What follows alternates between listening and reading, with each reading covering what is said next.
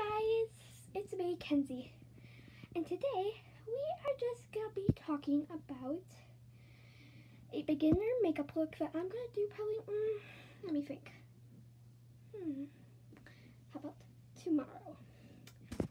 So what I'm thinking about doing is just doing a simple, like, maybe like a, like, this is just gonna be a beginner look, so do like a simple look, like natural colors, very simple, like an everyday look for tomorrow.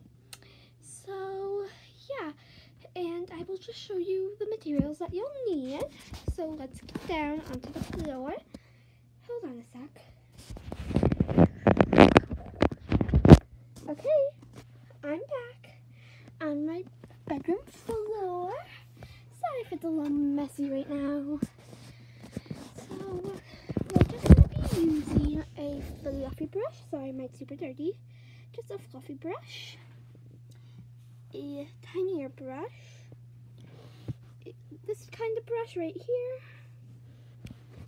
That kind of. Like this.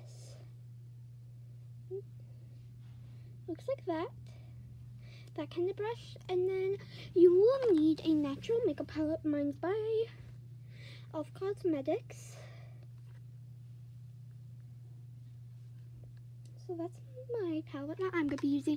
I'm just going to be using this lip gloss for it. So yeah, that's all you'll need. And if you want, I don't have any setting spray or powder right now, foundation. So that's all we're going to be using since it's a beginner look. So, see you guys tomorrow.